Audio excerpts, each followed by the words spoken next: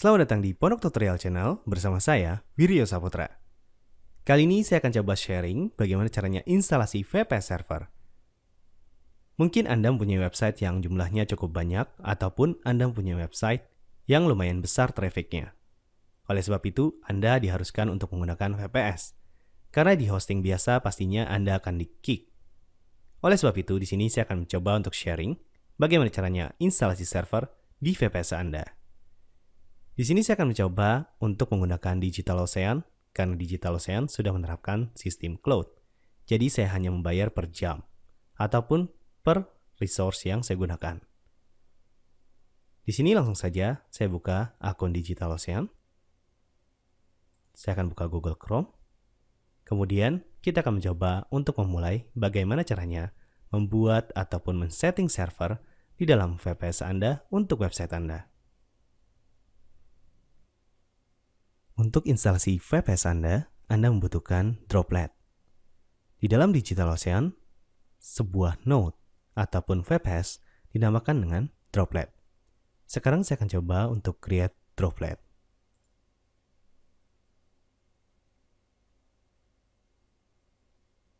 Kemudian di sini saya akan mencoba untuk memberikan namanya. Namanya saya akan coba berikan dengan nama pondoktutorial.net.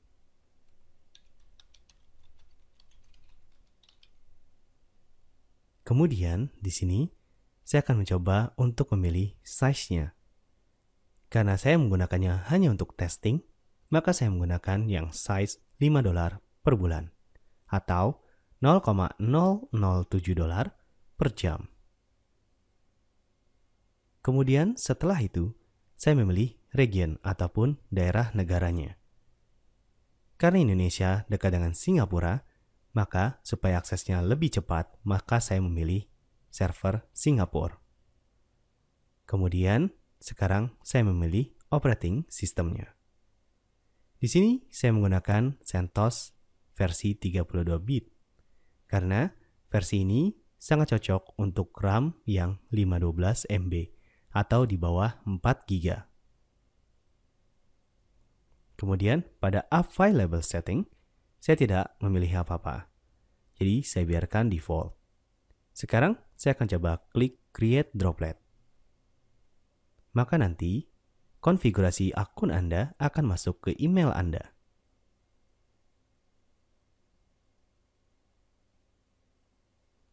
Jika sudah selesai, maka tampilannya akan seperti ini. Di mana Anda akan melihat adanya konsol akses, Kemudian ada juga reset root password.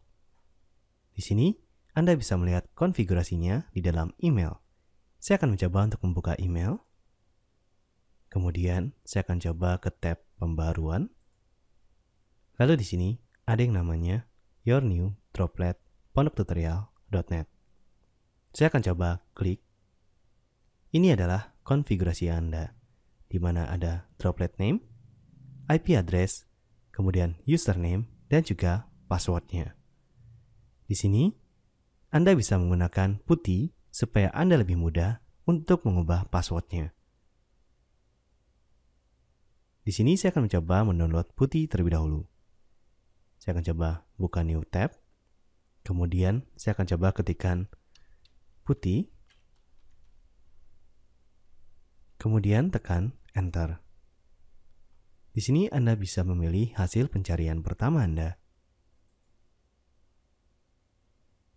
Kemudian, di sini saya akan mencoba untuk klik putih XY. Lalu saya akan coba klik Start Download. Kemudian saya akan coba klik Open. Di sini, perhatikan baik-baik konfigurasinya. Saya akan coba kembali ke email. Kemudian, saya akan coba blok ini, kemudian tekan Ctrl C, lalu kembali ke putih, tekan Ctrl V. Kemudian di sini Anda bisa klik Open. Jika ada tampilan seperti ini, Anda cukup klik Yes. Dan sekarang kita akan mencoba untuk mereset password sesuai dengan password yang Anda inginkan. Di sini saya akan coba mengganti passwordnya menjadi password yang saya inginkan. Ketikkan root sebagai usernya, Kemudian tekan Enter. Lalu, copy password Anda. Tekan Ctrl C. Lalu, kembali ke putih. Klik kanan untuk mempastenya. Lalu tekan Enter. Jika ada tampilan seperti ini, klik kanan kembali, lalu tekan Enter. Sekarang, masukkan password sesuai dengan keinginan Anda. Saya akan mencoba mengganti passwordnya dengan password pas 123. Lalu tekan enter. Di sini, Anda akan menemukan adanya bad password. Oleh sebab itu, Anda harus menggantinya.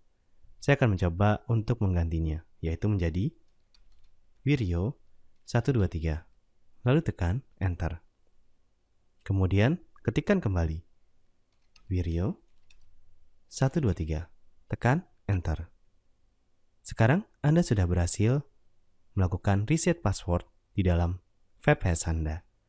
Sekarang, langkah selanjutnya kita akan mencoba untuk menginstalasi Web User Panel supaya memudahkan Anda dalam memanajemen website Anda.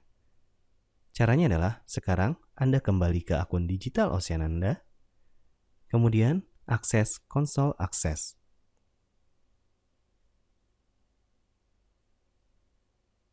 Di sini, anda diharuskan login kembali. Caranya sama, yaitu ketikkan root, tekan enter, lalu masukkan password yang baru. Video 123. Lalu tekan enter. Untuk menginstalasi Web User Panel, caranya cukup mudah. Pertama, Anda harus menginstal widget terlebih dahulu. Caranya adalah dengan mengetikkan yum install kemudian W get. Lalu tekan enter.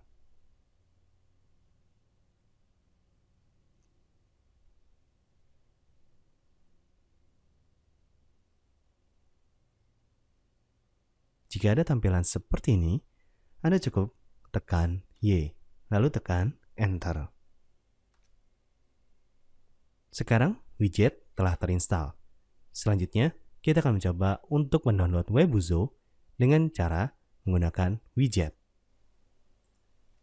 Ketikkan widget, kemudian min n besar, lalu ketikkan http titik dua slash slash, kemudian files, kemudian webuzo, kemudian .com, lalu slash, Lalu ketikkan install titik sh, kemudian tekan enter.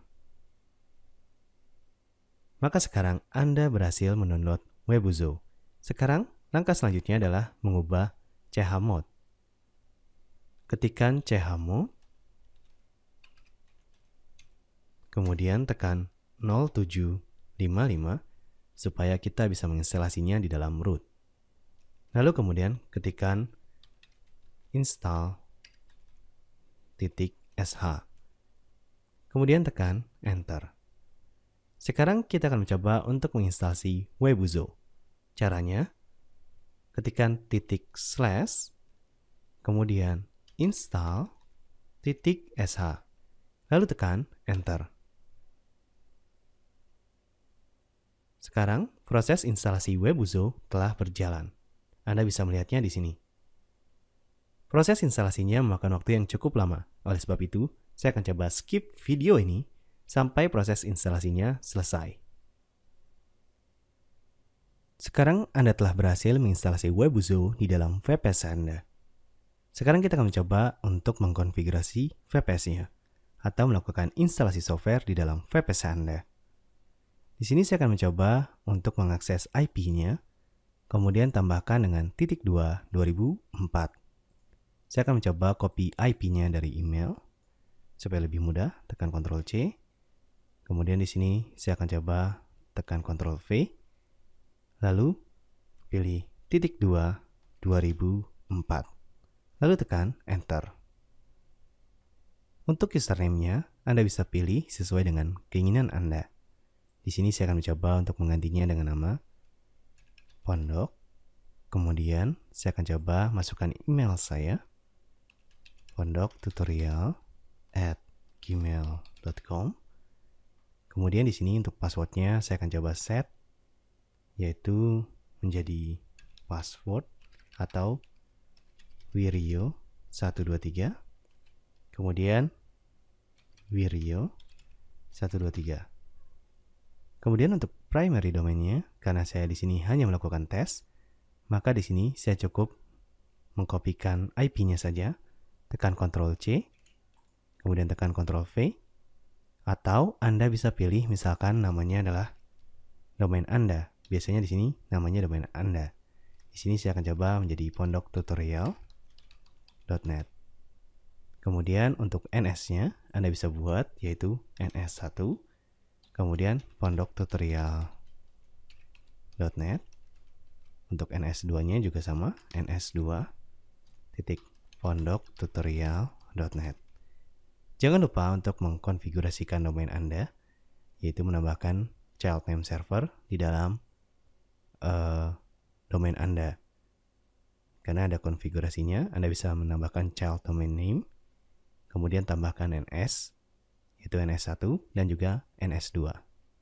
Kemudian jangan lupa arahkan IP-nya ke IP VPS Anda. Kemudian jika sudah, Anda cukup klik install. Proses instalasinya memakan waktu yang cukup lama. Saya harap Anda tidak berpindah ke tab browser lainnya, karena di sini proses instalasinya jika berpindah biasanya akan terjadi timeout. Dan Anda tidak mengetahui kapan proses instalasi ini selesai.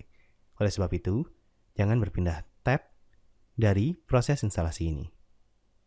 Saya akan coba skip video ini sampai proses instalasinya selesai. Jika proses instalasi softwarenya sudah selesai, maka sekarang kita akan mencoba untuk mengakses Webuzo Panel. Caranya cukup klik link ini. Kemudian Anda akan ke dalam Webuzo panel. Di sini Anda bisa menambahkan domain. Jika Anda mungkin ingin menambahkan domain. Kemudian Anda juga bisa menambahkan database. Caranya sama jika Anda mungkin pernah menggunakan cPanel. Caranya sama saja. Kemudian di sini Anda juga bisa menyeting Apache, kemudian versi PHP yang Anda mungkin inginkan. Di sini saya akan coba reload. Karena biasanya sering terjadi seperti itu, yaitu error. Akan tetapi itu tidak masalah, karena biasanya itu hanya masalah cache. Di sini Anda bisa memilih versi PHP yang Anda inginkan. Akan tetapi, Anda harus menginstal PHP-nya terlebih dahulu. Di sini Anda bisa klik apps, Kemudian saya akan coba pilih server side scripting. Kemudian pilih PHP yang saya ingin coba install. Di sini saya akan mencoba memilih PHP 5.6. Kemudian saya akan coba set default karena saya ingin versi PHP dengan tipe terbaru. Kemudian saya akan coba klik install. Seperti biasa, jangan pindah ke tab browser lainnya karena proses instalasinya akan terjadi error jika Anda memindahkan tab browser Anda. Pastikan Anda menunggunya sampai proses instalasinya selesai. Jika sudah, sekarang pastinya website Anda tidak akan bisa diakses. Saya akan coba tekan Ctrl C untuk mencoba mengaksesnya. Tekan Enter. Maka akan terjadi loading yang cukup lama atau loading forever. Ini sering terjadi akan tetapi, ini karena Apache Anda belum direstart. Sekarang kita akan coba untuk merestart Apache-nya. Klik Webuzo. Kemudian, Anda bisa pilih Service.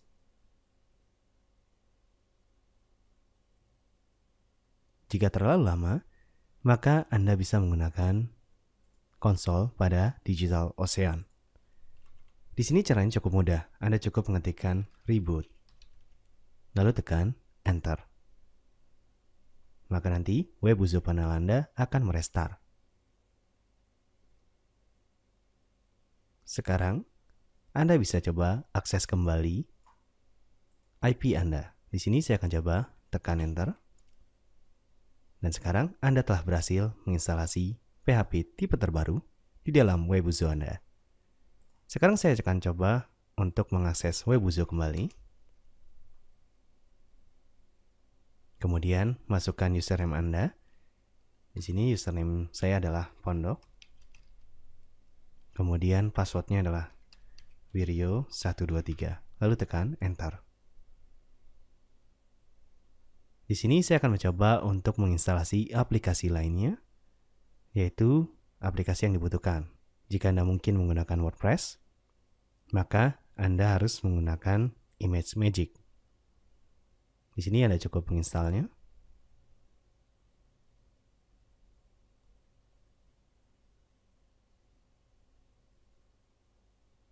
Dan sekarang Image Magic sudah terinstall.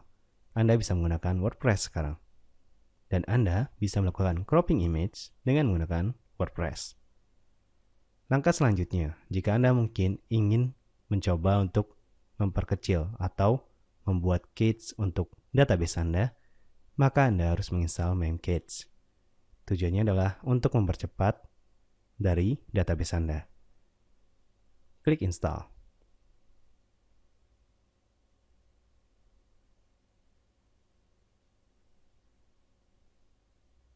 Setelah itu, Anda bisa mengklik Modules, lalu pilih Memcache.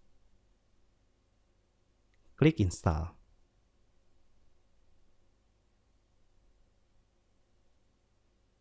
Dan sekarang yang terakhir, mungkin jika Anda ingin menggunakan security, biasanya Anda ingin memblokir IP ataupun ingin membuat uh, whitelist IP, maka di sini Anda bisa menggunakan yang namanya CSF.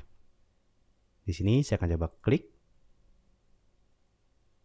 Lalu saya akan coba install. Tunggu sampai proses instalasinya selesai. Jika sudah, yang terakhir adalah bagaimana caranya mengkonfigurasi CSF ini. Di sini saya akan coba klik Webuzo Kemudian di sini saya akan coba ke CSF configuration. Kemudian di sini saya akan ganti testing menjadi 0. Lalu kemudian klik save. Dan sekarang server Anda telah berhasil diinstal. Lalu bagaimana caranya supaya saya bisa mengupload konten saya? Di sini ada yang namanya file manager sama seperti cPanel, jika mungkin Anda sering menggunakan cPanel. Kita akan coba cari file manajernya.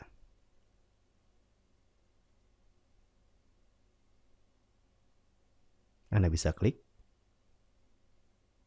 kemudian login dengan username Anda. Di sini saya akan coba ketikkan pondok, kemudian Wirio 123, lalu coba klik login. Sekarang saya akan coba untuk membuat sebuah file PHP. Pastikan Anda menaruhnya di dalam public HTML. Klik dua kali. Kemudian di sini saya akan mencoba untuk membuat new file dengan nama index.php. Kemudian klik create. Kemudian di sini saya akan coba klik kanan. Lalu saya akan coba untuk klik edit. Di sini saya akan mencoba untuk mengetikkan tag PHP. Kemudian saya akan coba ketikkan PHP info. Kemudian di sini saya akan coba tekan titik koma. Lalu saya akan coba klik save. Sekarang kita akan coba mengakses IP kita, yaitu IP-nya adalah ini. Pastikan Anda tidak menggunakan 2004-nya, lalu tekan enter maka nanti PHP yang Anda gunakan adalah versi 5.6.8 di mana Anda telah berhasil menginstalasi server Anda. Kemudian Anda juga telah berhasil menaruh file Anda di dalam server Anda.